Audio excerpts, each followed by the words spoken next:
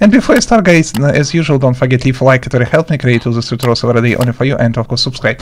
Before we begin, uh, for test and for comparison, I show you how many FPS we have without any mods in this version. Okay, 40 FPS, seriously? Seriously, 40 FPS in this place? 50 FPS. Okay, with this video settings, now we install this mod and test how it is work. Definitely it is Lithium, but for Forge. Let's open Minecraft Launcher as usual and go in Minecraft Java Edition, Installation. Here find Udisen. Uh, no Udisen, tap New and type Udisen YouTube. Press Create. Press left mouse button on Udisen and in this list find if you install for Minecraft 1.18 choose option release 1.18. If you install for Minecraft 1.18.4 for example choose option release 1.18.4 and so on. I hope you understand principle. After that press save button and press play button on Udisen. Wait for a second. After that you must see Minecraft, close Minecraft and close Minecraft Launcher. Open your download section and find Forge installer. Use installer version with jar file. Uh, double check right version. If you install for Minecraft 1.18, download Forge for Minecraft 1.18. If you install for Minecraft 1.18.2, for example, choose option Forge 1.18.2 and so on. Anyway, double click, press OK after that, you must see something, okay, blah blah blah blah blah blah blah and cool. Also guys uh, don't forget we have udisen.com site where you can find tons different text tutorials for minecraft and another popular sandbox games and discord where you can talk about all this cool stuff. If you successfully install it you see this complete uh, this blue logo successfully installed blah blah blah.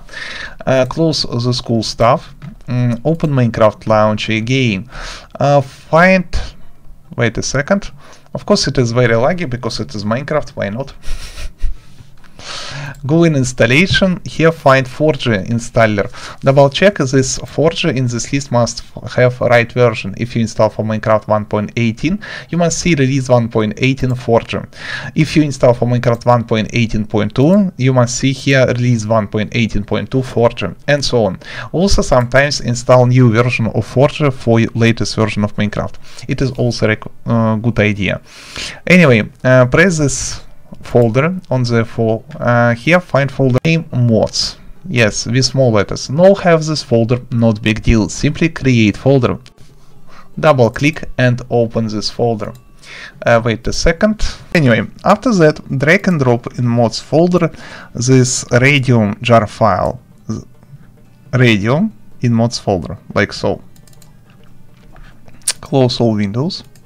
Return in minecraft launcher installation activate modded find Forger, press left mouse button and choose in this list right where the deal. If you want to install for Minecraft 1.18.1, for example, choose option release 1.18.1 Forger. If you install for Minecraft 1.18.5, for example, choose option release 1.18.5 Forger. Also, you can choose any name here. Why not? Only this version have compi uh, have meta. This no have meta.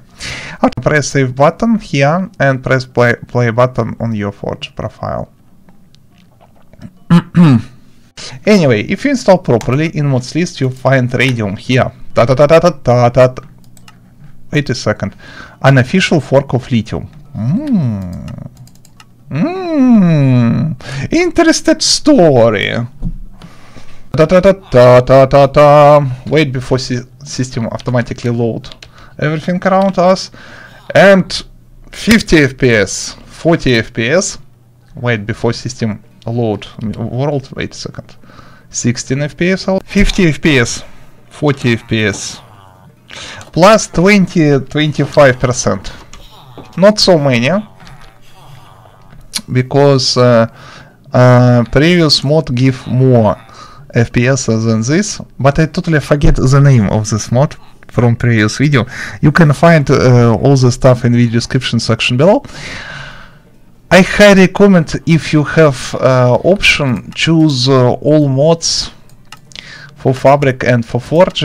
also on udisen.com site you find um, category with uh, cool boost FPS mod mods uh, and for Forge and for Fabric users category.